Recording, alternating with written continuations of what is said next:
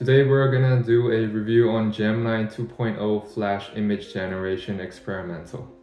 Well done my fellow Googlers, we're still really bad at naming stuff. I will live with this, I probably can't come up with a better name. So many friends in and outside Google have told me to try it, and they told me it's really great throughout the whole week. As I shared with you in my AI trend video, my perspective is that AI trend will be beyond chatbot, and multimodal will be a key part of it. Also, industrial and application layer will be the next exploding point.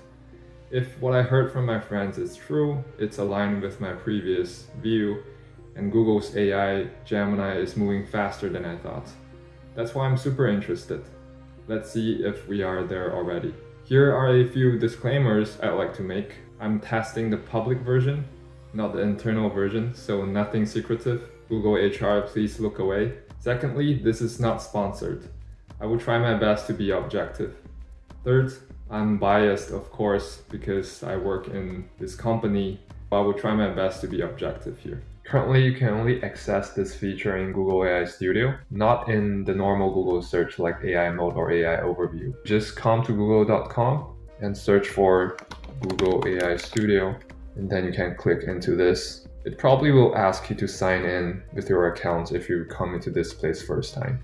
So just finish the sign in and then if you want to use the latest image generation, you have to make sure you get into the right model. The model is Gemini 2.0 Flash Image Generation Experimental. I'm not gonna mock the name again, but this is a really, really long name, so make sure you are clicking the right one. And then the output format need to be images and text. There are also some additional safety settings. I turned those off because I don't want any of those to block my content. But if you want to have kids-friendly, work environment-friendly content, I suggest you can turn it on. This is how you access the feature for now. There are several reasons I can guess why it is not available broader yet. First of all, from the name experimental, this is obviously not production ready yet, so it makes sense for this feature to be not in a production environment. We do already have many production AI features at mass scale, for example AI Overview and AI Mode and Gemini app, I assume once this feature is mature enough, it will roll out to all those mature surfaces.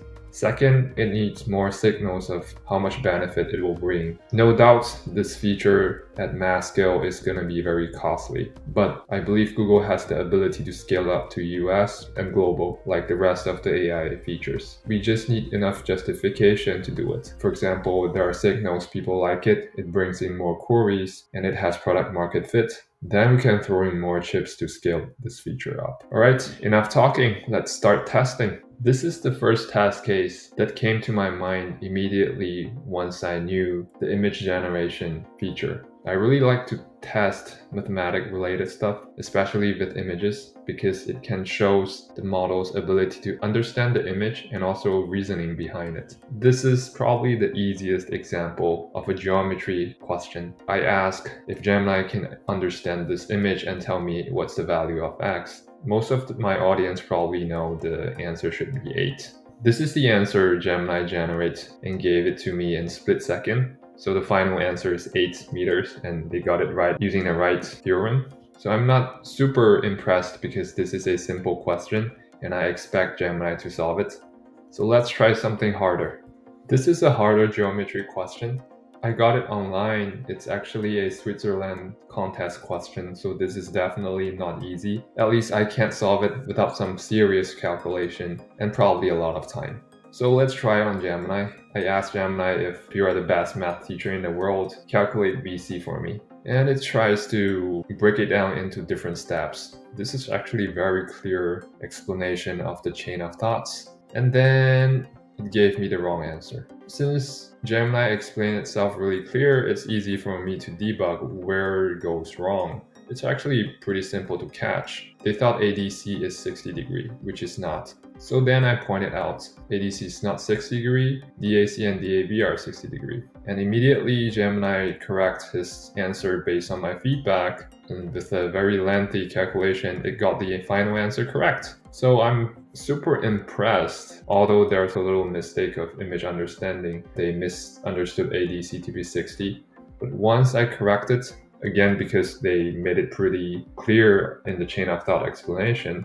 Once I made it clear, they were able to calculate it accurately using AD equals to 100, AB equals to 2AC, and the understanding of this triangle. So I'm super impressed by this section. Well done, Gemini.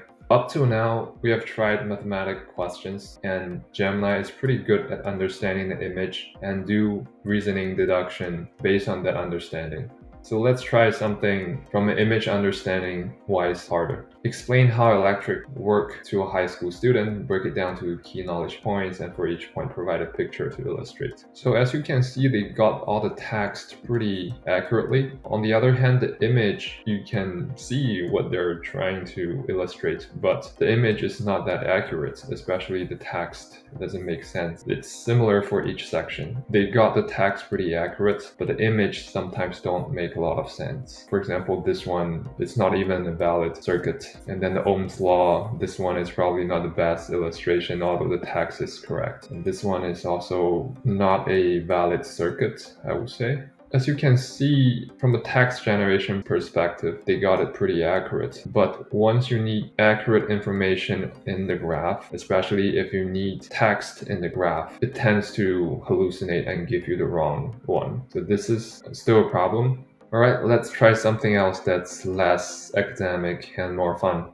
Now, let's move to the fun part. Let's say I want to do some baby shopping stuff based on a image that I saw online. This is the sketch. I want Gemini to understand this sketch and then render it with actual material so I can picture it. So this is the prompt I use and it did a pretty good job. It's a good baby bed that I would buy. If I tell them I don't like the color, it changed the color according to my text pretty accurately.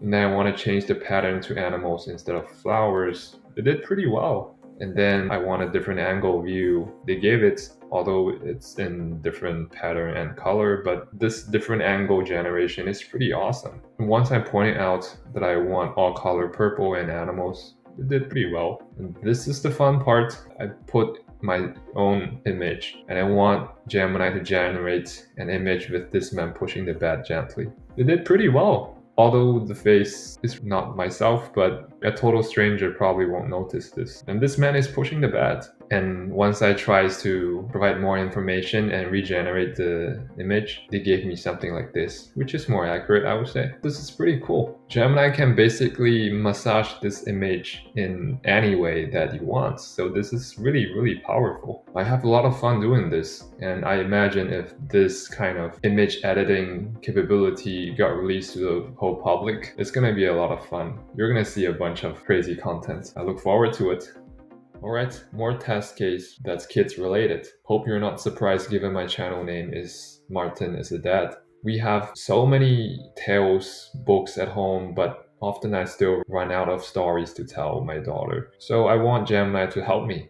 First, let's try something simple. I asked Gemini to generate a story with picture about the famous crow drinking water in 3D cartoon animation. It did pretty good. It gave out the scene, text describing the image, and then it generates the image that perfectly aligned with the text. And then there's the narrative, I like it. And then it generates the second scene, which is in the pot. And then it generates the third image, which is the crow found the petals. So as you can see, the crow style is pretty consistent. You can tell it's the same crow. I'm pretty impressed to be honest. I've tried out different AI image generation tools and it's difficult to maintain consistency for character within the same context. As you can see, you can pretty much tell it's the same crow. It won't break character. Although this one does break the physical law a little bit, I assume it's a hallucination problem. The image consistency is pretty awesome. Well done, Gemini. So now let's try something harder. I want Gemini to give me fresh new tales. So let's say I want to generate a new tale and it's gonna be about how it's bad for health to eat too much candies and good to eat vegetables. You might notice I'm forcing the main character to be a cat instead of human. The reason is that Gemini is blocking all the image generation if you use human as main character in the image. I can understand why they're doing this given the previous disaster but not allowing a human in the image is only a short-term solution that might work in experimental mode. Before it rolls to production, let's fix it and allow human in the picture. It's a major pain to use this tool if it doesn't allow human characters in the image. So back to the testing. Gemini is able to create a really lovely story in split seconds about a little cat and the little cat have a sweet tooth. One day he feels his legs are weak and tired. He bump into a wise old ladybug that tells the kitten eating too much sweet is not healthy and the kitten should eat more vegetables and then the kitten is back to healthy. So this is a really cute story with some twist. And I asked Gemini to put the same story in 3D cartoon animation style. And it did a pretty good job in generating image description, generating image according to the image description. Again, the character in the image shows great consistency. I'm amazed by how this tool can maintain the character consistency within the same context you can pretty much tell this is the same character. As you can see, the kitten under the guidance of wise ladybug starts eating carrot again and back to healthy state. So even with different poses, you can tell it's the same cat. Only little bug is right here. As you can see, there's a little wing on this cat, so I assume this is another hallucination case in the image. But overall, well done, Gemini. So one great use case for this image generation is cooking tutorial, right? And Kung Pao chicken is probably one of the most famous Chinese dish. See how Gemini does it. I'm not an expert in cooking, but I think it's doing the right thing. Marinate and then sauce, ingredients. Then this image is pretty real, including the knife. And then the sauce looks really good. And then the pepper, chilies. This actually looked very good. The final effect looks pretty good. Well done, Gemini. I bet this is gonna change how people cook if it got released to the whole public. So up to now, we have tried kid stuff, education, mathematics. Let's try something more difficult, more professional. I want to see if Gemini is able to do a designer's work. Do a professional original design of character from scratch based on the Chinese myth Sun Wukong. Use picture to demonstrate each step and start with the line drawing sketch. So Gemini is able to do it with all the right explanation and then the right drawing. I'm not an expert uh, in game design, but this looks okay to me. And then it starts to refine this and add more details in the armor, weapon, and then add color and more colors, more details. After this, I asked Gemini to make it 3D, and it did pretty well in a 3D style and in different angles. And I asked Gemini to put this character in a 3D game for a demo. It actually did in 5 seconds, really fast, and it gave different scenarios, even combat.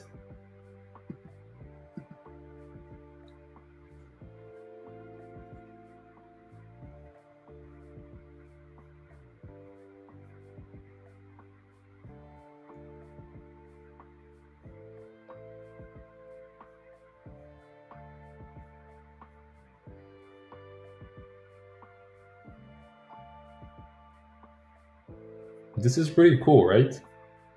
I thought this is gonna be harder for AI, but now I take it back. Right now I think for anything that don't require accuracy, in this case, for a scratch design, it doesn't require accuracy. For anything like that, it's easy for AI to do it. For example, you, you want to start a draft design or want to try out some ideas, just use AI to do it. I did this in less than 30 seconds and once you need to refine it, you need more accuracy in the result, then you can fine tune based on the result that AI gives you.